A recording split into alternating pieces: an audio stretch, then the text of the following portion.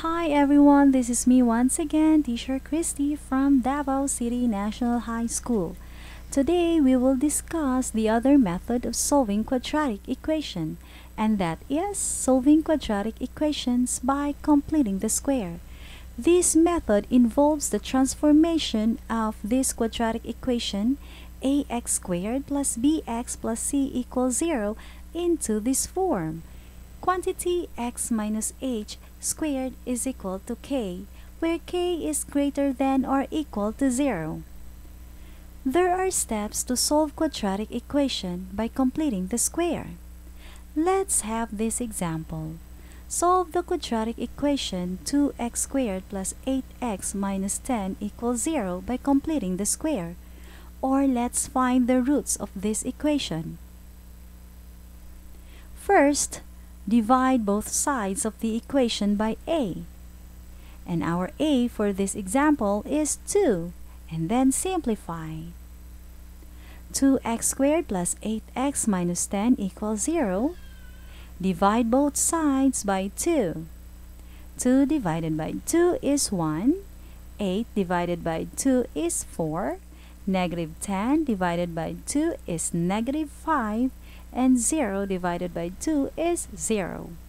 The simplest form of 2x squared plus 8x minus 10 equals 0 is x squared plus 4x minus 5 equals 0. Second step. Write the equation such that the terms with variables are on the left side of the equation and the constant term is on the right side. How? From the equation that we made from first step, x squared plus 4x minus 5 equals 0, this constant term will be transferred to this side, and the terms with variables will be remained on the left side. We will use additive inverse. x squared plus 4x minus 5 plus 5 equals 0 plus 5.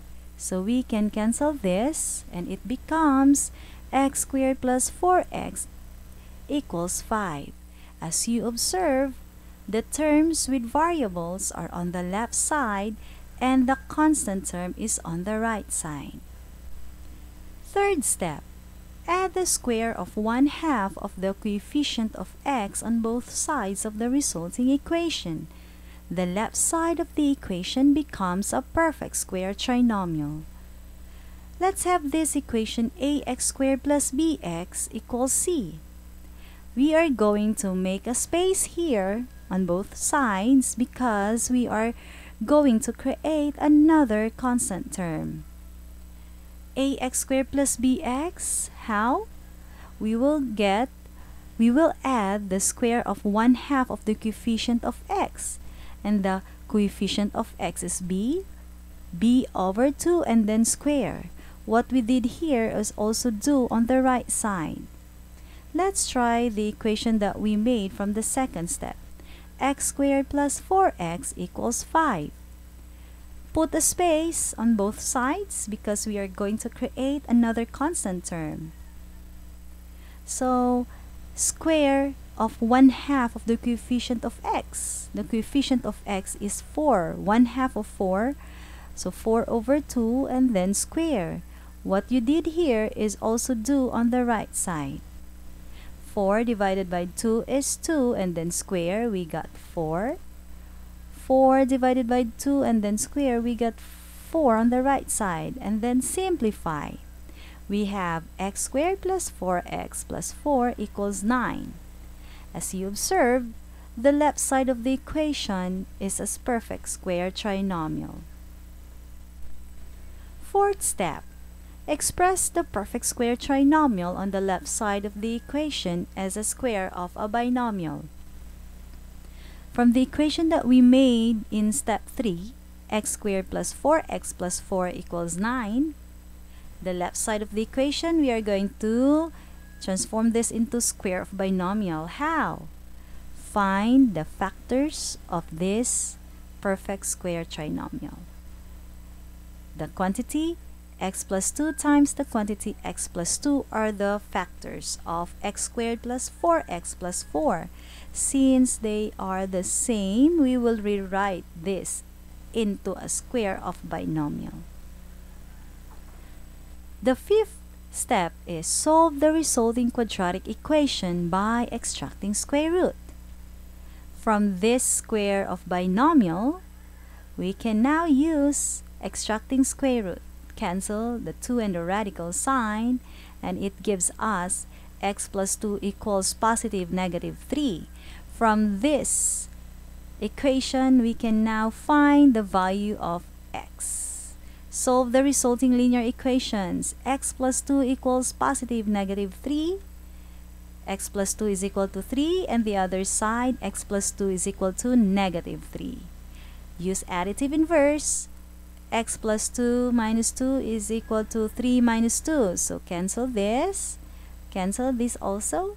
So x is equal to 1 on the left side. On the right side, we have x is equal to negative 5. The roots are x is equal to 1 and x is equal to negative 5.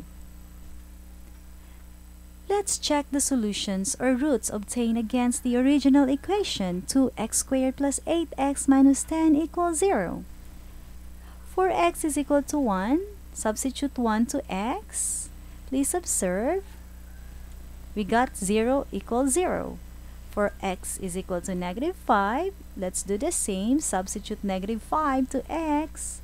We got 0 is equal to 0. Both values of x satisfy the given equation. So the equation 2x squared plus 8x minus 10 equals 0 is true when x is equal to 1 or when x is equal to negative 5. The equation 2x squared plus 8x minus 10 equals 0 has two solutions. x is equal to 1 or x is equal to negative 5. Try this. Find the solutions of the equation x squared plus 3x minus 18 equals 0 by completing the square. Take a picture and send it to me in the messenger. Thank you.